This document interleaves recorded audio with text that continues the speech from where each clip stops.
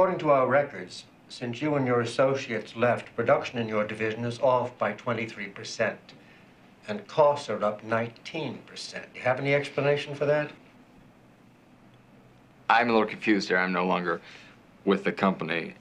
Uh, I don't know. You might ask Mr. Latham. We have. Ann? Sorry, Jack. I covered for you guys as long as I could. You covered for us. Yeah.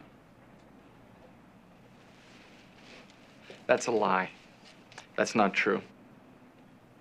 Come on, Jack. Larry and Stan were in here. Now, they already admitted that I covered for them. Now, come on. It's time for you to be a stand-up guy.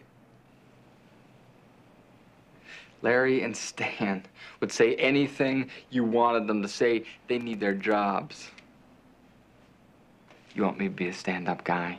Okay, I'll be a stand-up guy. I need my job too, but what's going on here is wrong.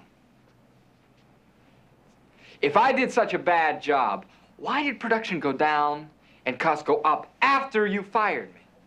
Huh? Look, I don't know what this guy told you. I don't know what he does with his books. I'm a car maker.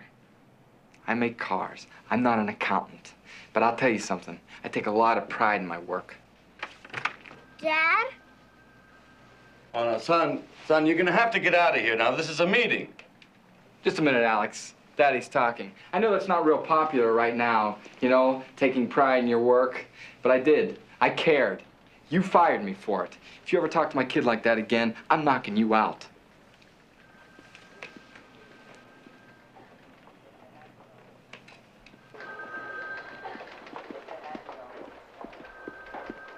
Forget the paper.